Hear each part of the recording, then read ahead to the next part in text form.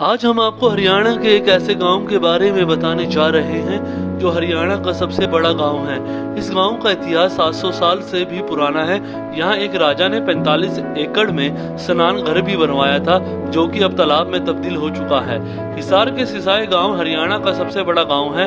अगर इसकी लोकेशन की बात करें तो ये गाँव हिसार से 36 किलोमीटर और हांसी से 10 किलोमीटर की दूरी पर बसा हुआ है। बताया जाता है कि इस गाँव में सन 1945 में मिडिल स्कूल चलाया गया था, जिसे सन 1990 में अपडेट कर सीनियर सेकेंडरी बना दिया गया। बता दें कि इस गाँव में सन 2002 में लड़कियों के लिए अलग से एक सीनियर सेकेंडरी स्कूल बना दिया गया था। इस गाँव के अधिकतर लोग पढ़े लिखे हैं। अगर आंकड़ों की बात करें तो गाँव की साक्षरता दर 70 प्रतिशत है। इसके साथ साथ खेलों में भी इस गाँव का बड़ा योगदान रहा है। आपको बता दें, कुश्ती के जाने माने खिलाड़ी हिंद केसरी पहलवान मास्टर चंदगी राम भी इसी गाँव की धरती पर पैदा हुए। गाँव में 700 साल के लगभग पूना नाम के राजा थे जिनकी रानी का नाम सीसा था। राजा पूना ने गाँव में एक विशाल स्नान घर बनवाया था जो कि 45 एकड़ में बनाया गया था। लेकिन आज वो स्नान घर एक तालाब में तब्दील हो गया है।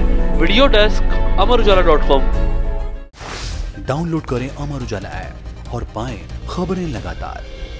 अगर आप ये वीडियो YouTube पर देख रहे हैं तो हमारे चैनल को सब्सक्राइब करें और बेल आइकन को दबाना ना भूलें। अगर आप फेसबुक पर यह वीडियो देख रहे हैं तो हमारे पेज को लाइक करें।